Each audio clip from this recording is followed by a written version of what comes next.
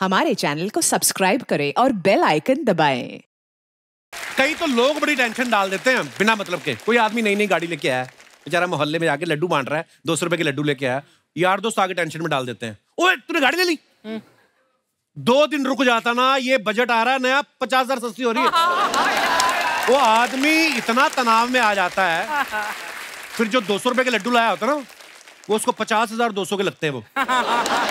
फिर वो सारे लड्डू खुद खाता है, किसी को बांटता नहीं वो। एटीएम में बंदा पैसे निकालने के लिए कार्ड डालता है, फिर पिन डालता है, फिर मशीन की आवाज़ आती है ना तो आदमी गिनता है कि नोट गिन रही मशीन। अभी आएँगे बाहर, फिर आते नहीं है तो आदमी तनाव में आ जाता है। जैसे अपना दिनेश, ये तो एटीएम मशीन ठोकने लग गया। हेलो भाई साहब, अभी गिने तो थे, बाहर नहीं आ रहे। तो पीछे से चौकीदार आया, कहता, भाई साहब, अगर अकाउंट में पाँच हज़ार हो तो सात हज़ार नहीं निकलते।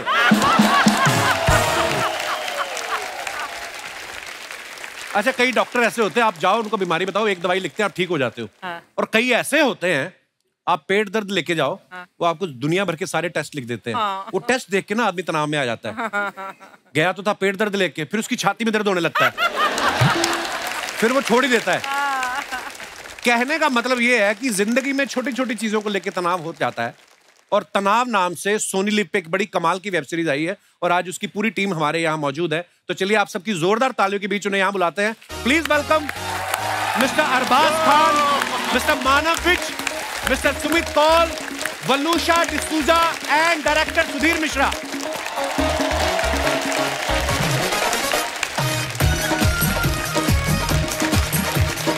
hi welcome welcome welcome welcome sir नमस्कार नमस्कार कैसे हैं आप? बढ़िया बढ़िया सर वेलकम वेलकम आप सभी का बहुत बहुत स्वागत है और ढेर सारी मुबारकबाद तनाव के लिए। थैंक यू पहली बार हुआ कोई तनाव के लिए मुबारकबाद दे रहा है। नाम तनाव है लेकिन बड़ा एंजॉय कर रहे हैं इस सीरीज़ को। सर आप मानते हो कि ज़िंदगी में कितना भी तनाव हो रिलैक्स होने के लिए आदमी को हमारे शो में आना पड़ता है? आइए सर प्लीज़ विराजमान हो जाइए। हमारे डायरेक्टर सुधीर मिश्रा साहब, इनके बारे में बता दूँ आपको कि इनके सिर्फ़ बाल ही लंबे नहीं है, इनका करियर भी बहुत लंबा है। बड़ा कमाल कमाल का काम किया है सुधीर मिश्रा जी ने। सर, कितनी फ़िल्में, कितने टीवी सीरियल लगे आपको द कपिल शर्मा, शो तक आने के लिए। बहुत साल हो गए अर्चना बताएँगे अब। अर्चना जी आपको भी जानती हैं? हाँ जी हाँ जी हाँ। मैंने दुनिया में कोई बंदा नहीं देखा जिनको ये नहीं जानती है। अर्चना यार सच सच बता दो आपको इंडस्ट्री में कितने साल हो गए? 39. वाओ! Actually, 40, 41. It's 23, yeah, 41. उसके एक साल बाद आया था मैं। फोर्टी वन ईयर्स तो आप तो मुझे बोल रही थी मैं 33 की हूँ। 21 की हूँ यार? ओए होए। सुधीर सर कितने समय बाद मिल रहे हैं आप अर्चना जी को? आई थिंक डेकेड्स ना। डिकेज में आपके बगल में आके रहने वाला था मड आइलैंड में फिर को आपने घर खरीद लिया तो आखिर वाला तो फिर मुझे तो- कहीं और खरीदा नहीं इन्होंने कब्जा किया है वो तो खरीदती नहीं है पूछिए इनको भी फेरी पर मिली थी एक बार। I saw you on the ferry. और मैं चप्पू चलाकर मगरमच्छ पर नहीं आती। ही इज़ विटनेस मुझे पता है आपकी अपनी है फेरी आप क्लाइंट्स को बिठा के लाती हैं। सुधीर सर की एज ए डायरेक्टर सबसे पहले जो तीन फ़िल्में इन्होंने डायरेक्ट की हैं कि ये वो मंजिल तो नहीं या मैं ज़िंदा हूँ। धारावी तीनों को नेशनल अवार्ड मिला है। क्या बात है। सर अर्चना ये पूछ रही थी कि जब नेशनल अवार्ड मिलता है आदमी की इज़्ज़त में तो बढ़ोतरी होती है। पेमेंट में कितनी बढ़ोतरी होती है? जैसे नेशनल अवार्ड जब मिल जाता है तो। पेमेंट थोड़े कम होने लगते हैं। हैं? तो वो आ रहा है तो उसको नेशनल अवार्ड मिला था कुछ पैसे कम होने वाले। नहीं हम नहीं नहीं। पहले एक जमाने में फ़िल्में भी हमको दिखाते थे हमारे दोस्त। अच्छा जी। तो बोनी वगैरह जो फ़िल्में बनाते थे तो बोलते थे सुधीर और शबाना को बुला लो। तो बोले उनको फ़िल्म अच्छी लगी। अरे यार सुधीर शबाना को फ़िल्म अच्छी लगी कुछ गड़बड़ हो गया। उसको चेंज चेंज करते नहीं अब अब माहौल बेटर है बहुत बेटर है। सुधीर साहब आपने जो पहले फ़िल्में बनाई और आजकल वेब सीरीज़ का दौर आ गया हाँ। क्या आपको कुछ बदलाव नज़र आया? बहुत।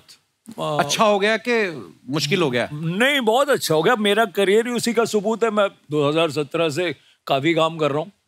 तो नहीं हर तरह की कहानी बना सकते हैं आप। दायरा सबको ये भी टेंशन रहती है कि मेरा रोल छोटा है बढ़ा दो। अब तो पता है वेब सीरीज़ जिसका जितना बढ़ाना बढ़ा सकते हो आप। जी हाँ, जी। हाँ। कोई अच्छा लग रहा है तो बढ़ा दो। कोई ठीक नहीं लग रहा है तो उड़ा भी दो। उड़ा अच्छी बात है।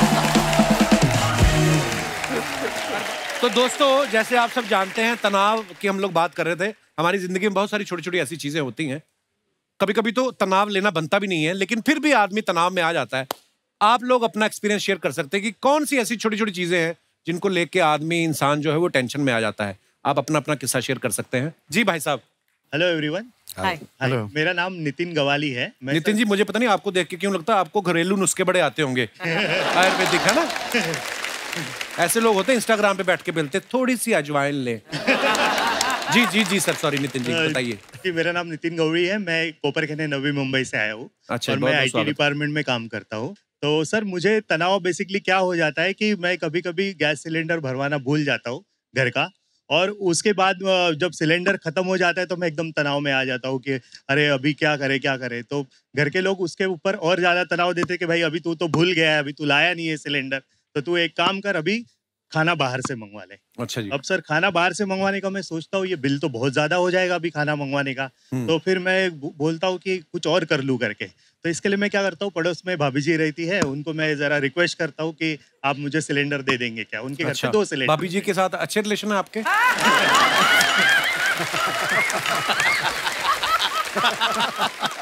अच्छा तो फिर भाभी जी दे देती सिलेंडर हाँ, आपको वो क्या होता है सर कि अब उनके पति नाइट शिफ्ट वगैरह करते हैं तो वो बड़ी नॉलेज है आपको।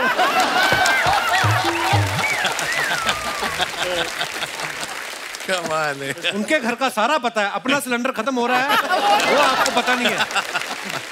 तो फिर भाभी के हस्बैंड जो है नाइट शिफ्ट करते हैं। जी तो वो देर दिन तक सोए रहते हैं। उनको जब भी, भी कोई सामान की ज़रूरत गिरी तो वो मुझे बो, बोल देती कि आप जरा थोड़ा सा लेके आओगे क्या? तो मैं उनको हेल्प कर देता हूँ। और अच्छा। तो ये जो आईटी की जॉब करते हैं ये कब करते हैं फिर आप?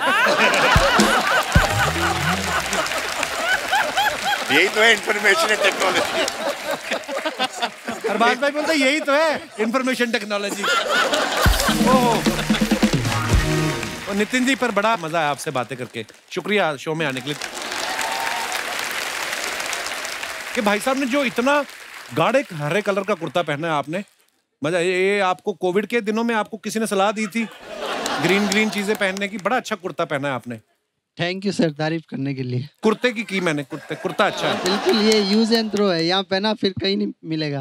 हैं? अच्छा ऐसे क्यों? हाँ, वॉश नहीं होता। धुलता नहीं है ये? नहीं। अखबार का है? एक बार खड़े होकर दिखाएँगे पूरा लंबा कुर्ता। पूरा स्टेज इसी पे। अच्छा डिज़ाइन है ये वाह। पर ऐसे क्यों धुलता क्यों नहीं है? वो इसकी क्वालिटी ऐसी है। हैं? ना हाई है ना लो है। अलग ही है अलग ही तो है। उतर जाता है बॉडी से? हाँ सर कपड़ा रख के बाद में सिलाई की है? नहीं सर उतर जाता है। और पैजामा ये तो धुलता होगा हाँ ये धुलता है। हाँ ठीक है। सर दो लाइनें सुनाओ। अभी तक चौदह बोल चुके हैं आप पर आप आप बताइए प्लीज़ भगवान करे आपको पोछा लगाने वाली जल्दी मिले थैंक यू और कोई हमारे दोस्त जी madam Hello, Kapil sir. Hello. Archana ma'am, and one and all present here. Uh, myself, Dr. Kajal. I'm a gynecologist and uh, मैं सूरत से आई हूँ और आज मैं एक चीज़ शेयर करना चाहती हूँ जैसे अभी twenty fourth November we are completing fifteen years of marriage और ये पंद्रह साल में मेरा जो तनाव की सिचुएशन है कि मेरे हस्बैंड को बाथरूम में जब भी जाते हैं तो 45 मिनट्स टू वन आवर लगता है उनको। क्यों? फ़ोन लेके चले जाते हैं? फ़ोन लेकर चले जाते हैं और जैसे अभी डिलीवरी का कॉल आया मुझे जल्दी रेडी होना है। सो आई एम लाइक जल्दी करो जल्दी करो। बट उनका वो 45 minutes to one hour complete हुए बिना वो कभी बाहर नहीं निकलते। आपके फ़ोन की वजह से लोगों के बच्चे लेट हो रहे हैं। बड़ा होके बंदा सोचेगा ही यार मैं एक तारीख को होने वाला था। डॉक्टर साहब के हस्बैंड की वजह से मैं दो तारीख को क्या हाल है सर पर ये ये फ़ोन लेके जाते हैं आप? सर पंद्रह साल पहले मुझे तीन मिनट लगते थे। अच्छा तो जी। एवरी ईयर थ्री मिनट्स का तनाव बढ़ रहा है अभी ऐसा हो रहा है। अच्छा जी। इसलिए तो दस साल बाद कितना टाइम लगेगा फिर? आप सोच सकते हैं कि अभी तनाव और कितना बढ़ता जाएगा। तो फिर मैडम क्या फिर आपने क्या सोचा इसका इलाज क्या किया है? घर में दूसरा बाथरूम बनवा लो। सर वही सोचा है अभी मेरे बंगलो का रिनोवेशन चल रहा है। अच्छा वी आर प्लानिंग कि दूसरा और एक बाथरूम सेपरेट हो ताकि उनका 45 मिनट्स जैसे उन्होंने बोला कि every year three three minutes बढ़ने वाले हैं। We are completing 15 years so अभी separate bathroom is the solution for me separate bathroom ले लो या फिर घर के ऊपर एक और। अच्छा डॉक्टर्स नॉर्मली क्या होता है? मियाँ भी डॉक्टर होते हैं। आ, भाई साहब भी डॉक्टर हैं? हाँ जी मैं डॉक्टर हूँ और मैं पेट का ही सर्जन हूँ। अरे वाह पेट का सर्जन मतलब क्या? मैं पेट के ऑपरेशन करता हूँ और कॉन्स्टिपेशन वाले ही हमारे पेशेंट रहते हैं। अच्छा जी। तो इसलिए मैं खुद आप पैंतालीस मिनट लगाते हैं। और इसीलिए हर शादीशुदा हस्बैंड का वही इशू रहता है कि कि वही टाइम बढ़ रहा है और वही हम ट्रीट करते हैं। शुक्रिया डॉक्टर साहब धन्यवाद। थैंक यू थैंक यू और कोई हमारे दोस्त? जी madam. Hello Kapil sir. Hello जी नमस्ते कैसे हैं आप? एवरीवन मेरा नाम अनीता बड़जातिया है। मैं इंदौर से हूँ। ओहो सूरज बढ़ जाता है साहब की फैमिली से हैं कि अलग? ये मेरे बड़े भैया बड़ी भाभी अच्छा जी। बड़े भैया प्रणाम। जी जी मैडम। मेरी शादी को 25 साल हो गए। मुझे मेरे हस्बैंड की से बहुत तनाव रहता है। क्यों? कि मेरी बात पर फोकस नहीं करते हैं। पच्चीस साल कर तो लिया आप क्या चाहती हैं आप? अभी नहीं अभी तो अभी तक किसी भी बात का जाने दो उनको गलती हो गई उनसे। अच्छा तो क्यों फोकस नहीं करते? मतलब कैसी बातों पे फोकस नहीं करते? जैसे मैं पेट दर्द की दवाई लाने को कभी बोलती हूँ जी। पैर दर्द की ले आते हैं। और कभी सब्ज़ी में भिंडी लाने का बोलूँगी तो लौकी लेकर आ जाएँगे। बोले सब्ज़ी मंगाई थी ना कुछ भी बना दीजिए। वैसे बात ठीक ही है, ऐसी बुरी तो नहीं लगी मुझे बात सुन के? लेकिन सब कुछ भूल जाते हैं। आपको तो नहीं भूले ना अभी तक? नहीं नहीं। चेक कर लो एक बार। बीवी नाम से कितने नंबर सेव है? फ़ोन पे चेक कर रहा। और मेरी छोटी सिस्टर अगर फ़ोन पे भी कुछ भी बोलती है तो उसका बराबर ध्यान रहता है कि उसने हाँ। ये मंगाया है उस बराबर आ जाता है। मेरी बात पे फोकस नहीं देती भाई साहब से मैं मुखातिब होना चाहूँगा। रीजन है। अगर उनको आप भाई साहब जी। ये जो आपकी साली साहिबा कहती वो आपको याद रहता है? बीवी जो कहती वो याद नहीं रहता? ये सही बात है? सर मेरा तो ये रहता है कि मेरा फोकस इनकी बातों पे नहीं होता इन्हीं के ऊपर रहता है।